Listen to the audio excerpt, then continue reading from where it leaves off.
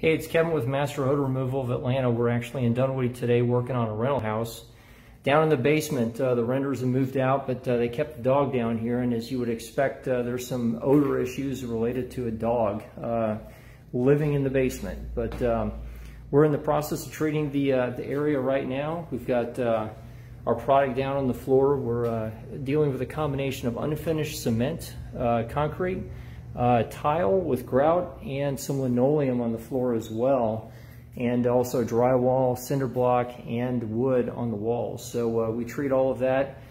We uh, handle all kinds of odors, tobacco, pet odors, food smells, mystery, even mystery odors. But uh, this one was actually pretty bad when we came down, but um, we're gonna get this handled for the landlord and he'll have this property back on the market in no time. Give us a call if we can help you out, answer any questions for you. Y'all take care.